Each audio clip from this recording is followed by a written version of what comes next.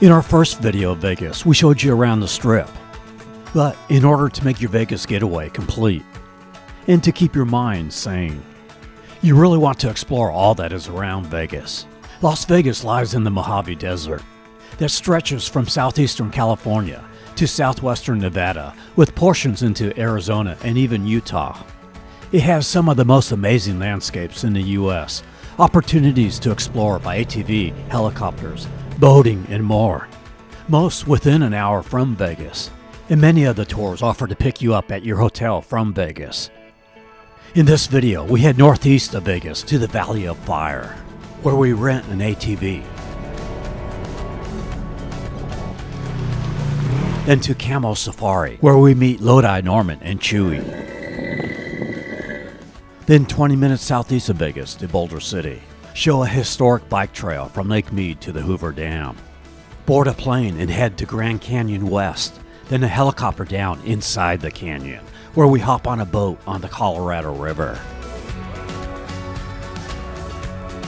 Show you around Boulder City. Give you some tips for lodging and food.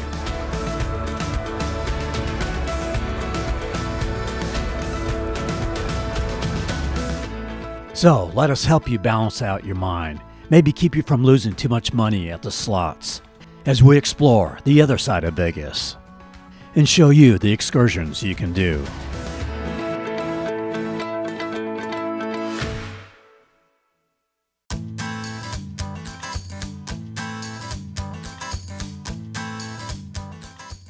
We head to the Mojave Desert, this time 60 miles west of the Strip to Red Rock Canyon area. It features a 13 mile scenic drive with trails, plants, wildlife, and camping. It's $15 per vehicle for a one day pass. Along the drive, several places to pull off and explore. On the first parking area is the Calico Hills Trail, a three mile one way trail. There's 26 trails throughout Red Rock Canyon. Ran into Francie here, a nice girl visiting from Germany. Of the 26 trails, 22 can be used for mountain biking, all with varying lengths and levels of difficulty. There's the Sandstone Quarry Trailhead, a 6.7 mile loop trail. The White Rock Trail, a 6.2 mile loop trail.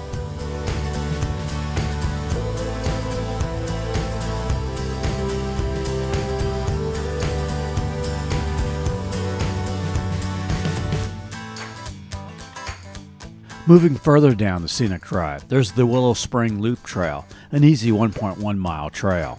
I'm going a little off trail here, some good areas for climbing, not far from the parking lot. The rocks are pretty stable. Hold on, Bella.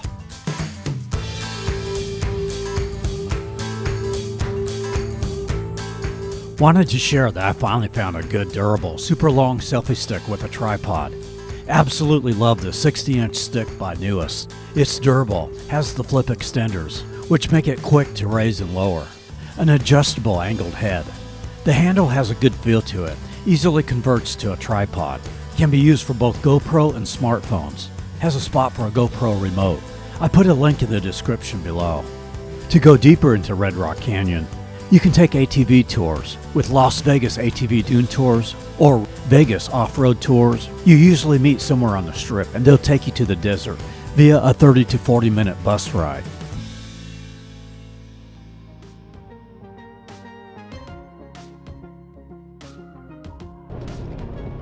Forty-five minutes northeast of Vegas is the Valley of Fire, a geologic wonderland. 2,000-year-old rock formations a massive redstone.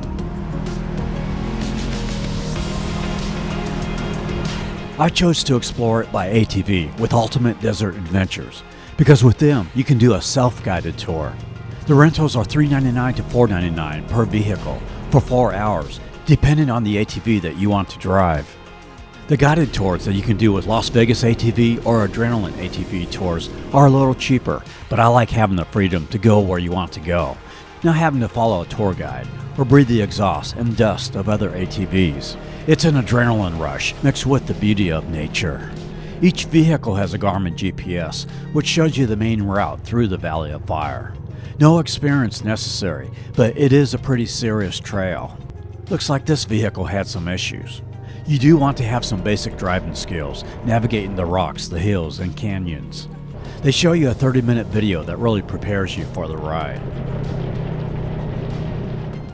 There are other ways to explore the Valley of Fire.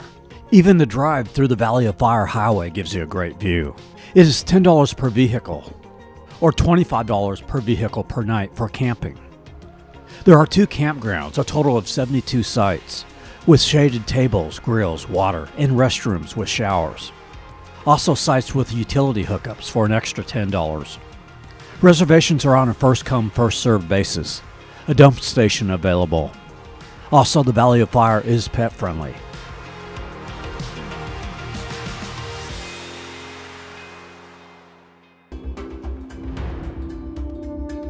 For something a little slower, we go another 20 minutes northeast of the Valley of Fire to the Camel Safari, to Bunkerville, Nevada. You might at first think your GPS is taking you to nowhere, because there is nothing out here. There's a little dirt road that leads to Camel Safari.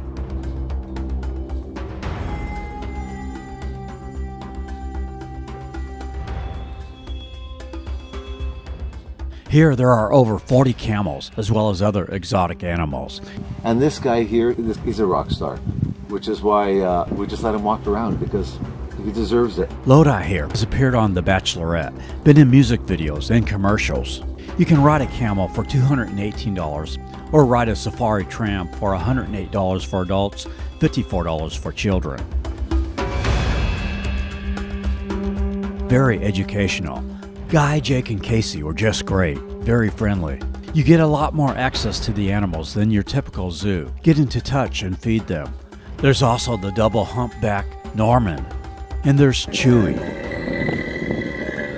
named after Chewbacca in Star Wars, as the sound you hear from Chewbacca is actually a camel.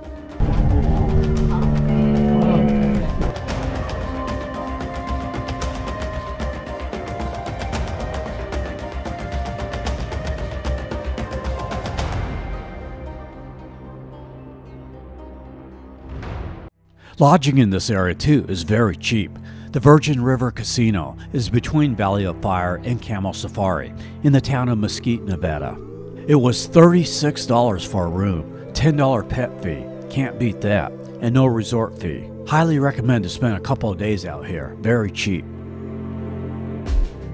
Another popular excursion from Vegas is Grand Canyon West. The ultimate tour is by Papillon Helicopters, which offers a combo plane, helicopter, and boat tour. While this tour begins from Vegas, you can choose to start at the Boulder Airport, which is what I did in order to save a little time of Bella being stuck in a hotel room. It makes the 7 hour tour 6 hours instead, as you skip the bus ride from Vegas to Boulder. The plane takes off from Boulder, flying over Lake Mead and the Hoover Dam. It lands at Grand Canyon West, where you then board a helicopter and fly into the canyon land at the bottom, then hop on a boat for a 15 to 20 minute ride on the Colorado River.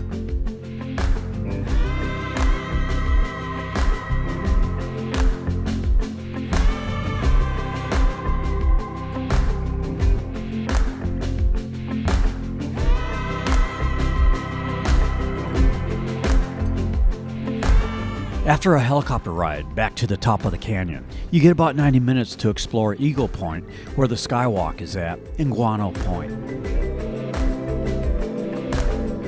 It is $519, or add $60 to include the skywalk as well. To see more of this tour, see our Grand Canyon South and West Rim video.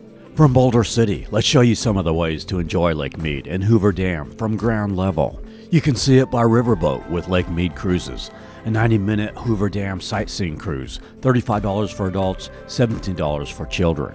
They also have a dinner cruise Fridays and Saturdays and a champagne brunch cruise on Sundays. In the next marina over from Lake Mead Cruises, you can rent a pontoon boat with boating Lake Mead, $300 for half day or 510 for full day. They also have jet skis, kayak, and paddleboard rentals. Before or after your adventures, you can get a bite to eat at Harbor House Cafe with a patio overlooking the marina. Just above the marina area, there's a parking lot here near the entrance to Lake Mead where you can park while you hike or bike the historic railroad trail.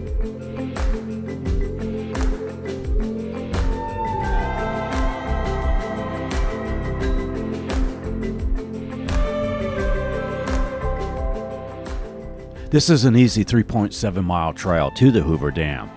It was formerly part of a network of railroads built in 1931 to haul materials to construct the dam. It ran from Boulder City down to a concrete mixing plant on the rim of Black Canyon 24 hours a day.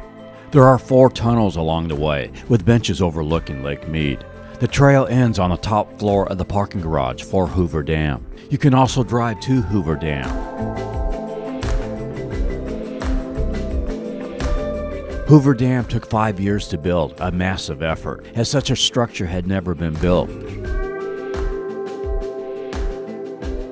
The concrete today is still curing, even 87 years after construction. Over 100 workers lost their lives in building it. Located on the Colorado River, which separates Nevada with Arizona, the generators here provide power for utilities in Nevada, Arizona, and California. You can take a guided tour for $30 where you see the tunnels and ride the elevator to the top of the dam.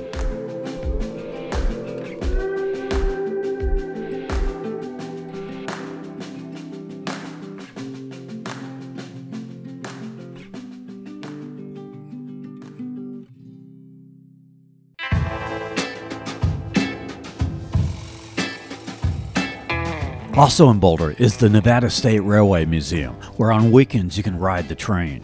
In September and October, they have the Train of Terror that is $35 to $50. Also, Rail Explorer rides year round, where you ride or pedal a Rail Explorer and return on the train. Boulder has very inexpensive lodging compared with Vegas, several reasonable motels. We stayed at the Sands Motel, was surprised at the size and how nice the room was. Just a five minute drive from the airport was perfect. There's also a pet friendly Quality Inn within five minutes of Lake Mead. Lots of good eateries here, too. I like this restaurant called the Pit Stop, as you can call in an order and they have a drive through for you to easily pick up your food. Several great hangouts in historic, less crowded downtown Boulder with outdoor seating in a friendly small town atmosphere. In Boulder is Wilbur Square, a nice little park where you'll find one of the original turbines used to power the dam. Weighs 34 tons. This is a good place if traveling with a dog, as there are not many grassy areas in this part of the country. Boulder just has a nice small town feeling, a good contrast to Vegas. People seem friendly here, good casual eateries.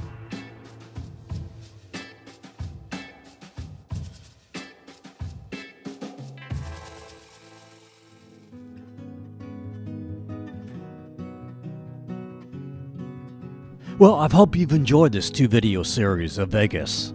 So you see, there's a lot more to Nevada than just the Las Vegas Strip. Many great recreational lakes. This is Walker Lake. It's on the way to Lake Tahoe, in fact, a lot closer to Lake Tahoe than Vegas. But I figured I'd show you it.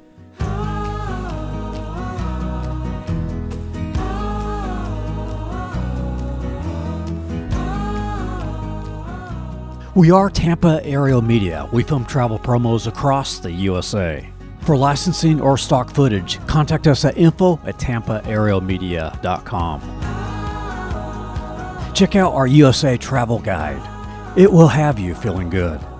Plus, give you great ideas for getaways. Also, our Lake Tahoe travel guide that we filmed on this same trip.